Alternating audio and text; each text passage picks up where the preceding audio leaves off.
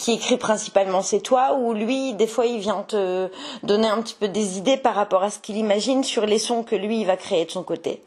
Oui, en fait, euh, il s'autorise ça, pas de problème, parce que du coup, on est quand même, on se connaît bien, donc euh, il sait très bien qu'il peut me parler. Euh, et puis, je préfère justement avoir des bons conseils. Au niveau des mélodies, etc., il s'est permis de me, de me, corriger plusieurs fois et à bon escient en plus. Ouais. donc, donc voilà. Moi, je me permets aussi de lui donner des idées sur ses rythmes, de l'orienter quelquefois quand il y a besoin, et en sachant que tous les morceaux en tout cas qui ont été faits sur ces projets, on les a au moins arrangés tous les deux, c'est-à-dire que même s'il n'a pas participé à l'élaboration des, des rythmes, il, euh, on les a au moins euh, agencés et arrangés euh, euh, seconde après seconde. Vous avez les mêmes références musicales jamaïcaines, hein, carrément tous les deux, et euh, du, du coup, vous avez le même âge à peu près tous les deux.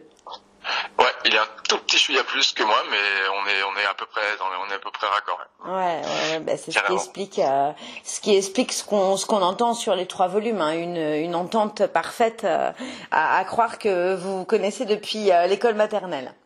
ah bah c'est gentil, je pense qu'il appréciera. Ouais. Non, mais carrément c'est c'est carrément non mais c'est carrément cool. C'est voilà, on est on est dans une bonne entente. Euh, c'est c'est assez facile de travailler ensemble et voilà, c'est attends, attends, ouais, ça continue.